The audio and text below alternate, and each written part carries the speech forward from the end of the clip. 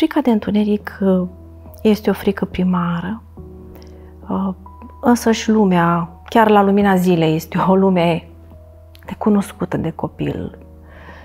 Nu știe ce e cu lumea asta, ce aduce lumea asta, ce se întâmplă în lumea asta, încât lumea asta uh, pusă în întuneric e și mai fricoșătoare. Întunericul este dificil pentru un copil pentru că este foarte mult necunoscut. Pe de altă parte, copilul care este un copil cu multă imaginație. Copiii trăiesc într-o lume a imaginației și își hrănesc această imaginație din lecturi, din desene animate, din tot.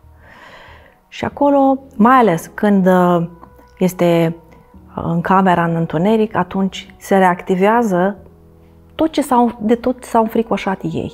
Din desene, personajele care i-au înfricoșat sau alte situații din viață, atunci se activează și apar. Fantome, monștri, uh, păpușica aia cu ochii de sticlă, uh, nu știu ce, uh, altă mașinuță care înghițea nu știu ce chestii. Da? Atunci se activează aceste frici sau aceste imagini care ei s-au temut măcar și puțin. Acest întuneric activează toate fricile astea care ele acolo se depozitează, da, prin vizionare, poate ți frică un pic, dar da, depășești, că imediat se derulează altceva.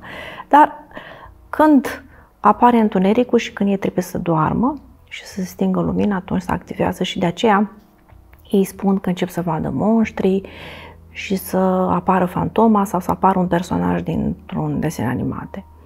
Încât părinții trebuie să ia foarte în serios aceste frici, chiar dacă ele sunt imaginare. Copilul trăiește ca și cum este real. Nu uitați, dragi părinți, că lumea aceasta imaginară a copilului este lumea lui reală el încă nu face diferența între lumea imaginară și lumea reală. Deocamdată aia e lumea și luați-o în serios că acolo frica este foarte reală. Chiar dacă e o fantomă care nu mai e în mintea lui. Dar trebuie să tratăm cu foarte multă seriozitate această frică.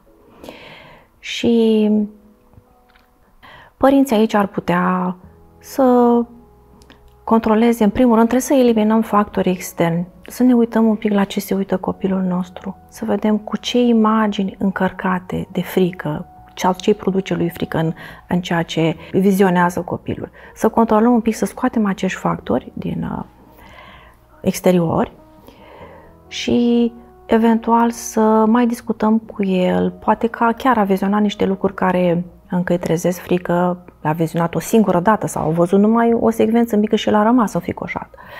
Să discutăm un pic despre aceste personaje care ele se activează, mai ales când e întuneric. Și sunt soluțiile acestea foarte simple care le uh, fac părinții, pun o lumină de veghe sau stau copilul, povestesc despre ceva frumos până adorme și apoi închid lumina și sigur copilul se poate trezi miez noapte și să se sperie. Dar o lumină de veghe sau uh, uh, popularea aceasta a imaginației copilului cu personaje frumoase, bune. Și dacă el adorme cu lucrurile bune, frumoase, sunt șanse mai, mai mari ca el să tolereze și întunericul.